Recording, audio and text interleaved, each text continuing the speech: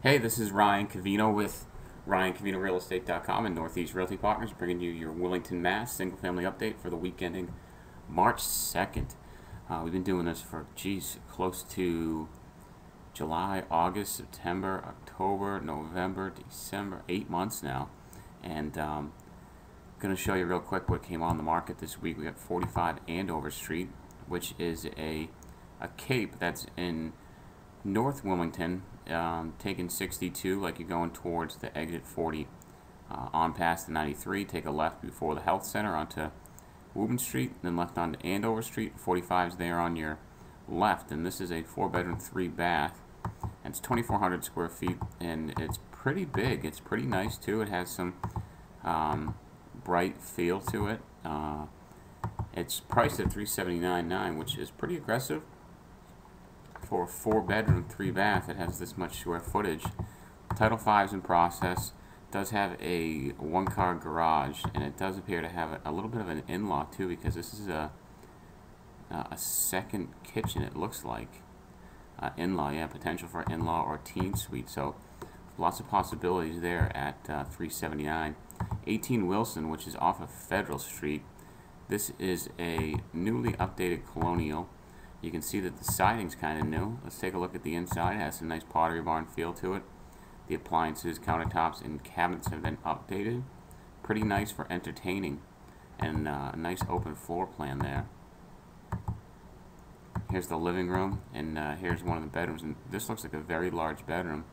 And the house itself is 2,100 square feet with four bedrooms and two full baths. Lots of updates have uh, have happened here.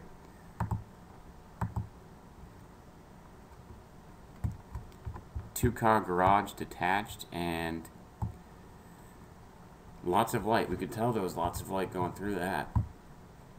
Then we had a couple of big boys going to agreement this week. We have 47 Marion Street, which is a um, just a split gambrel, new construction um, off of 449. Went under agreement. You can see all the nice finishes and the way that the place was constructed. Pretty nice finished basement, great for entertaining. Move right in and then Eleanor Drive, which these properties have been on the market a while.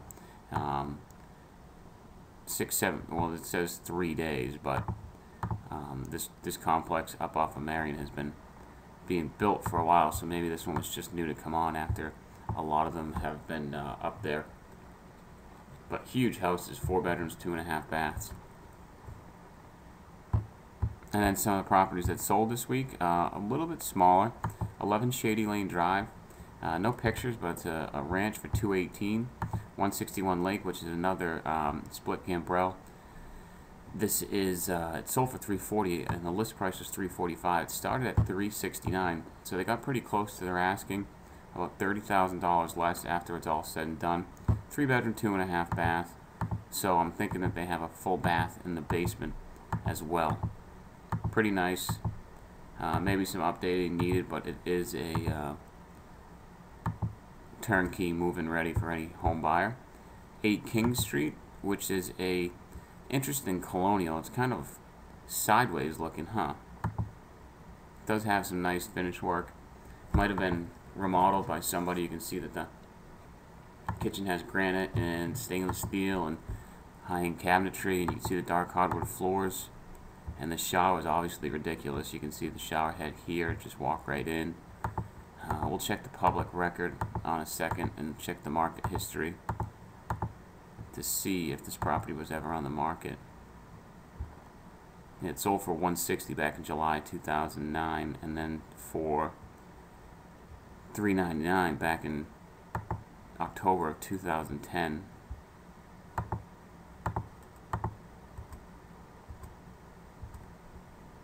And then sold again or came on in October of 2010, so maybe it took them about a year to do all the work, but for 160 to 399, it's a pretty good deal. 340 Salem Street is a very oversized ranch. It's about 2,000 square feet, three bedrooms, two full baths. Nice kitchen, you can see right here.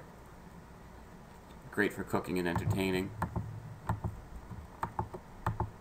Hardwood floors, pretty nice size rooms huge California closet or walk-in closet. I think one of the bedrooms, the third one was converted into this closet, which is awesome.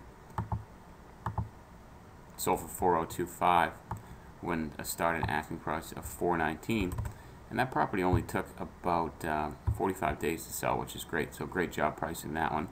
Then lot 8 Jack Lane this is over by the Shawsheen School. It's a new uh, 16 lot subdivision. There's some attached single families there's some standalone single families but they're all new construction um, 429 is what it sold for 429 is what it came on for it took about 200 days and they were able to get that asking price after that market time. So let's throw in all the actives for Wilmington here.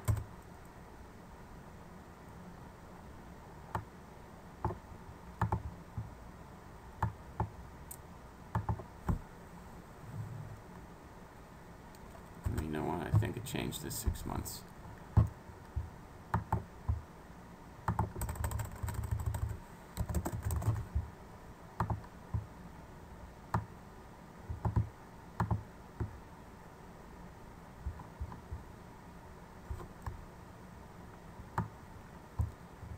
So the average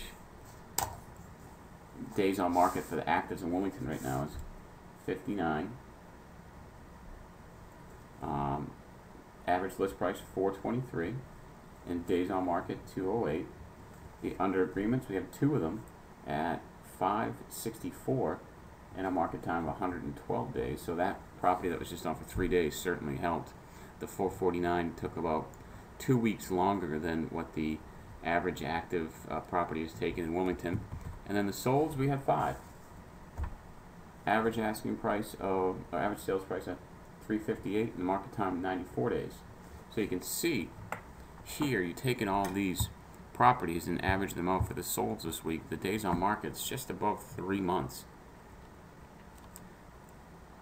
with an average sales price of 358 which is significantly lower than the 423 of the average average active asking price.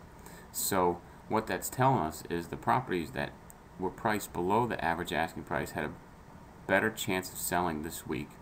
Uh, if you have any questions, give me a shout, ryan at ryancovino.com. We'll talk to you soon.